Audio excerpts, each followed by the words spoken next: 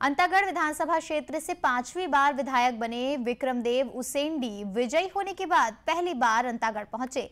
यहाँ कार्यकर्ताओं ने उनका भव्य स्वागत किया। इस दौरान श्री उसेंडी ने कहा कि पहले पंद्रह साल में कई विकास कार्य हुए जो विगत पाँच वर्षों में रुके हुए थे। ये सभी कार्य भाजपा की सरकार बनने के साथ ही अब शीघ्र ही पूर्ण किए जाएँगे।